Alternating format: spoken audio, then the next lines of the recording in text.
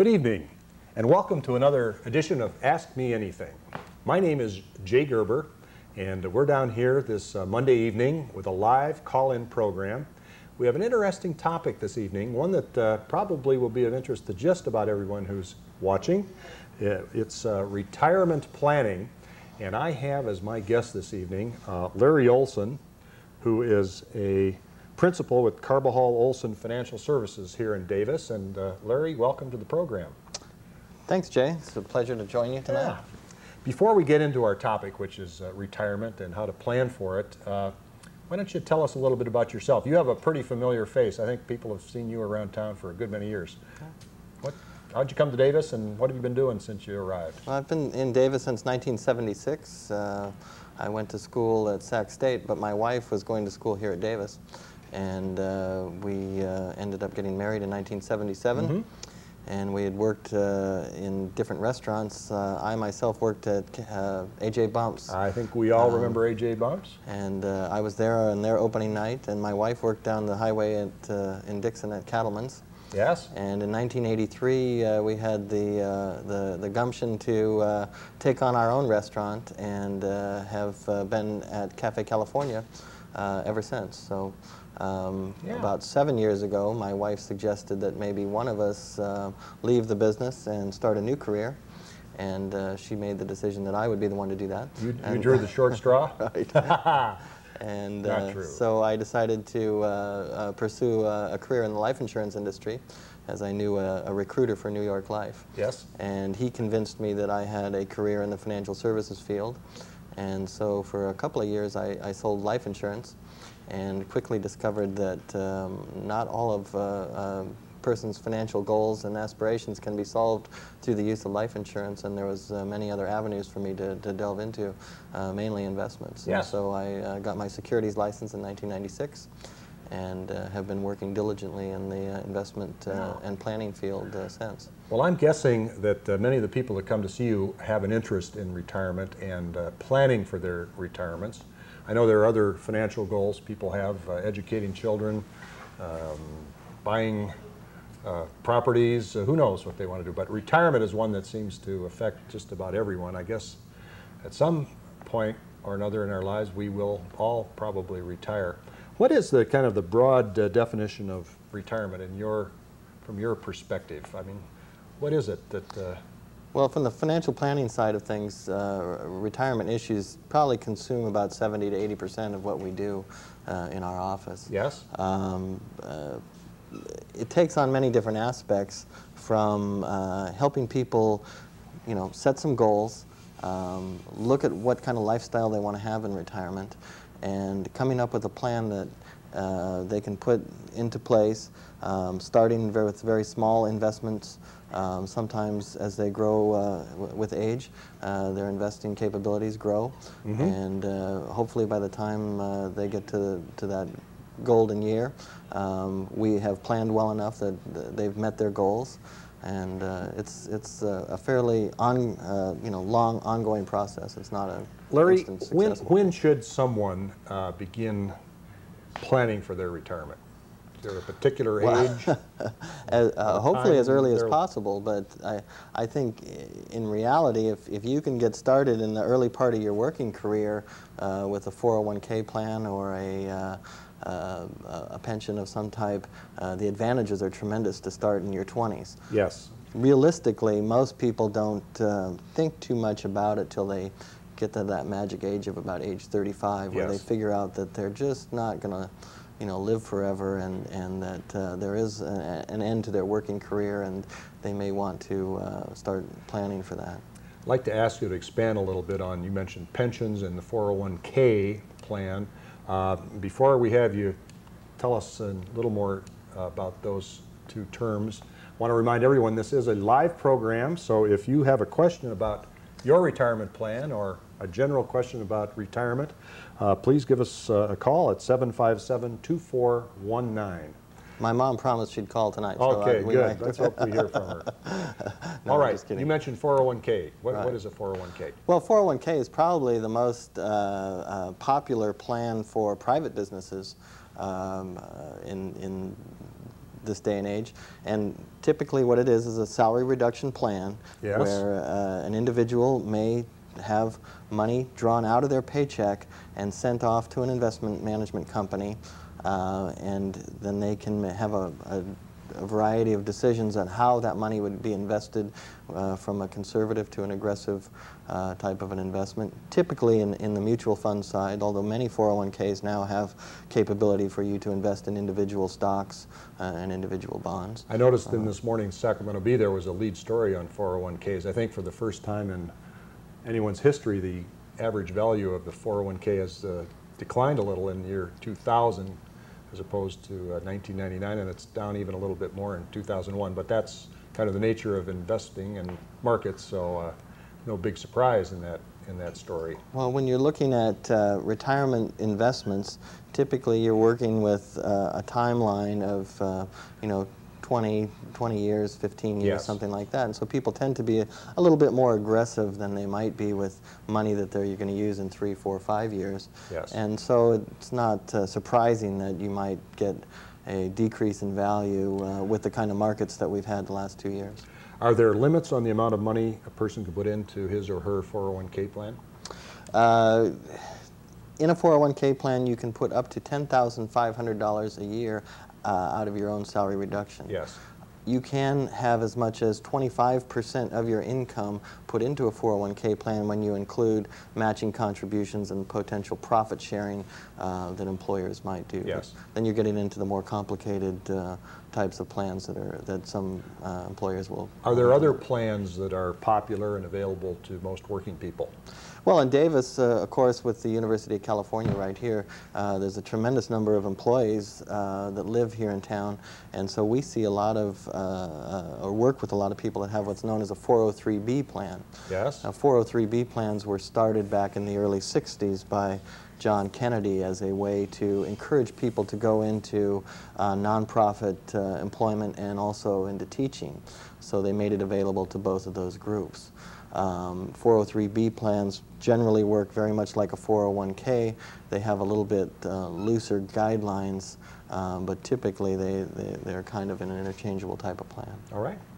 Now, Larry, uh, when people come to you, I'm guessing that one of the questions that comes up has to do with Social Security and the role that Social Security, which we've had in this country for 65 years now, uh, plays in the average retirement. Uh, what, what, what do you talk? What do you tell people? And uh, Well, the, the common uh, thought process now is uh, amongst most investors is that Social Security is not going to be there for them. Yeah. I, I do you yourself have that feeling? I hesitate to go that far. I think uh, for uh, unless maybe you're in your early 20s, um, uh, I think it's actually funded through uh, the year 2033 right now. Yes. Um, so there will be a certain amount set aside for each of us as we move along.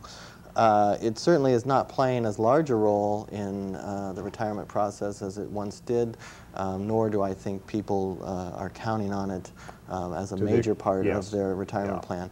But right now, it, it's a fairly significant Mm-hmm. portion, as many times as much as 50%. And many people we see uh, that uh, that's tip, that really their only retirement um, income. For someone who has contributed for, I think it's 40 quarters into the, into the plan, um, I guess what you are sent monthly is determined by how much you paid in over your lifetime? Exactly. Yeah, and that number could go as high as, I, I think uh, we're in the 11 to 1200 dollar range Yeah. in the at the peak. I, I think it's still under 1300 dollars Yeah. for an individual right All now per month. whereas couples, it'd be more than that, of course. Right, because if they depending both on- paid- paid in. Right. Well, um, let's get to some of the more specific questions. And again, if you have questions uh, out there, we hope you'll call us at uh, 757-2419. Our guest this evening is Larry Olson. Um, Larry, what are some of the more common mistakes people make with their retirement plans? Well, I think the most common mistake is that people don't get started until maybe uh, uh, they perceive it to be too late. But uh, you know, we always encourage uh, young clients that we see to get started as early as possible. So the, the, that's probably the, the number one mistake is that, that They, it's one of those things that you put off in life. Um, many times, uh, especially for younger people, they're not in a career that, that has a plan option available to them that is publicized on a daily basis to them.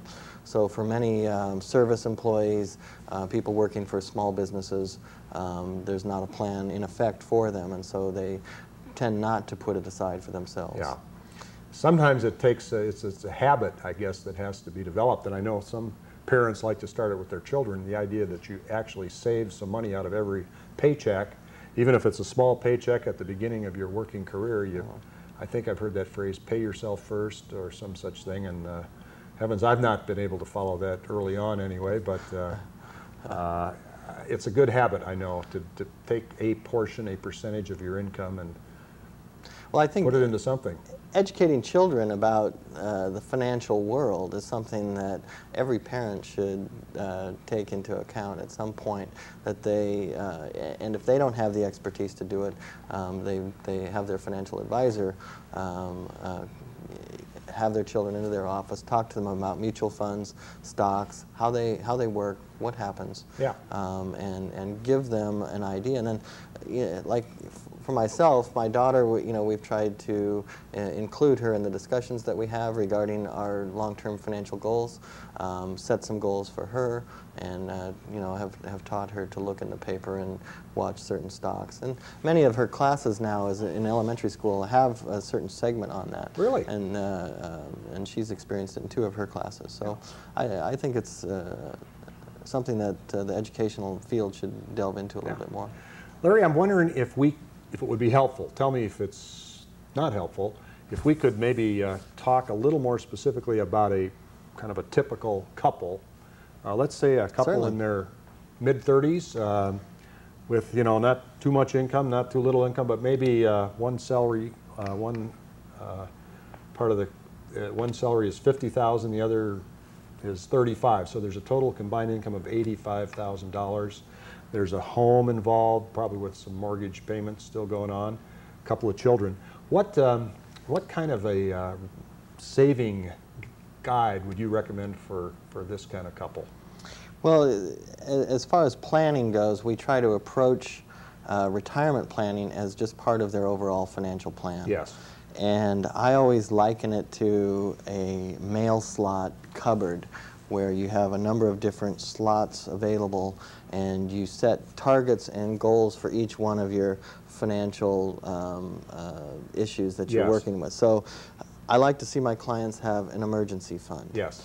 Um, right off, that's probably the most important thing. I think that they have three to six months Is that, worth the, of is that the rule of thumb, three yeah, to six months? and depending on what type of financial stability and, and job stability they have, if they're if they're both individually employed in, in fairly uh, risky small businesses, say um, a restaurant or a car wash possibly, um, that yeah, those types of businesses fail fairly Yes. regularly. So somebody like that may want to have a little bit more of an emergency fund set up. Yes. Then, uh, beyond the emergency fund, then we, we, we go through a, a process of trying to uh, determine what's the most important next financial goal. Typically, it's retirement. Yes. Then it would work towards college education for their kids. Yep. Sometimes they have uh, goals such as they want to uh, upgrade their home and, and move to a new home, or they want a second home for uh, potentially to live in in retirement or and to enjoy in their uh, you know uh, leisure uh, cabin in the mountains or something Yeah. like that. So Right. it's never too early to start saving for those types of things.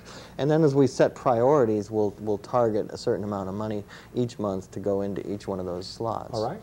And for retirement, you know, I, I would love to see my clients be able to save 10% of their overall income Mm-hmm. in the in the wage category that we're talking about. So Yes.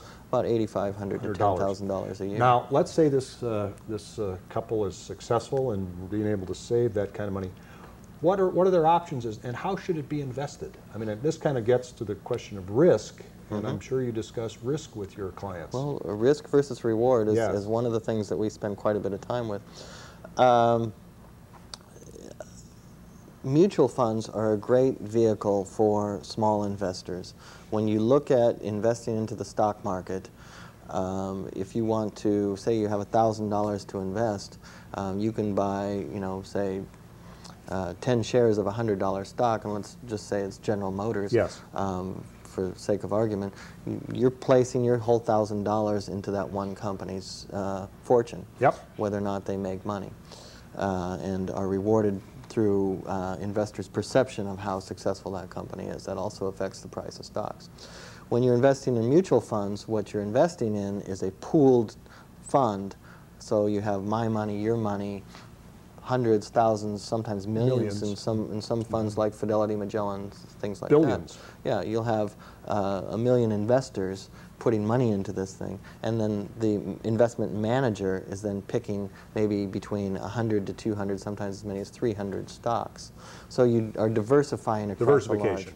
So for a small investor, you, you, you decrease your volatility by Sure. diversifying in such a manner. So mutual funds are probably where we start with people. Yes. When they get to a certain level, and I, I like to see my clients not even think about uh, investing in individual stocks until uh, they have at least a $100,000 portfolio Right. of mutual funds. Yeah. How, how, I'm just, this is a little aside because we're all aware of the fact that the investment markets uh, here in the United States and worldwide for that matter have not had their best 18 months or so, dating back to March of uh, 2000. People s- you still uh, encourage people to, to look to the good mutual funds uh, to get started? Well, yeah, there's an old saying, you want to buy low, sell high. Yes. Um, unfortunately, uh, investor psychology is one that uh, they want to invest when things are going well. And, and uh, typically, uh, for long-term type of investment, you want to invest at regular intervals, so you're catching both the lows and the highs, which brings down your average cost uh, on your purchases. So that's what they call dollar cost averaging. This is where you- Invest a set dollar amount every month, Right. every quarter. So, so we are encouraging Regardless. people to continue investing, Yes. even through the bad times, Yeah. for their long-term goals on a regular basis. If you've come into a lump sum of money, say through retirement or through uh, uh, inheritance or um, a sale of property or something like that, then you might want to be very cautious in this type of a market. Um, as we've seen, um, it can drop fairly quickly.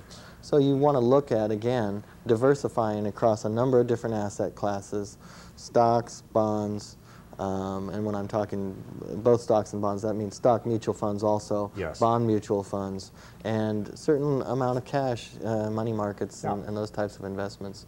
Um, there's other types of fixed income uh, investment pools, such as uh, senior floating rate funds that, are, Mhm. that are basically loan funds. So Larry, how, how does one decide how much of a nest egg they're going to need at uh, the time they start this retirement uh, period in their lives? That, that's a very good question, and that's one that we spend um, a significant amount of time with because that's, that's one thing that most people want to know right off the bat is how much am I going to need in retirement? Yes. So we go through a series of, of questions again uh, uh, and a questionnaire trying to determine what kind of lifestyle they're going to want in retirement, uh, how much typically we'll start with what, what are they making now and w- minus their putting money into retirement, their house payment, things that they, they probably won't have to do when they are retired. Um, we can subtract out from there and so we can project that over a series of years. So if they're in their early 40s, we know we have roughly uh, 18 to 20 years to work. We can take into account uh, a certain rate of inflation, 3 to 4 percent, somewhere in that range, which it historically runs at. Lately, it's been a little bit lower than that. But inflation is, is the big key there.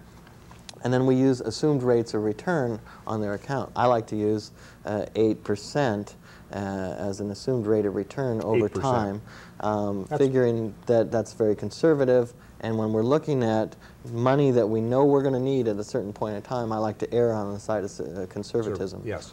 So using those assumptions, we can set a target for how much we're going to have, and then how, what it's going to take to get there. So if they're currently putting in $200 a month and they have $20,000 in their retirement account, and to get to their goal, they may have to raise that to 250 or 300 a month Yes. and try to, to get a little bit better rate of return. So we look at how we might uh, influence their, their investment decisions and, and uh, get them to take maybe a little bit more risk or a little less risk Yeah. sometimes. Now, getting to that, uh, that nest egg, uh, again, the purpose of that is to provide income for the duration of one's life. Uh, And uh, what, what is, I assume, I think you made reference to this earlier, that in retirement, the, the amount of income necessary is probably less. Hopefully your, your home's paid off, your kids are educated. Uh, you may have other kinds of expenses, but uh, is there a rule of thumb? I mean, in retirement, you need 60% of what you uh, maybe had I, I think a conventional planner would, would, would say 60 to 70 percent Yes. of your of your uh, current income or your working Your- income yes. is what you'd need in retirement. I think realistically, most people like to think that they're going to live with the same Same amount of income. same amount of income, um, and I think uh, with two income, two wage earners in today's society, it's pretty common that they're capable of saving that kind of uh, of a nest egg Yes. and, and putting that Yeah, forward. So. okay. So many times there's the old uh, philosophy of your, your tax liability will be less in retirement.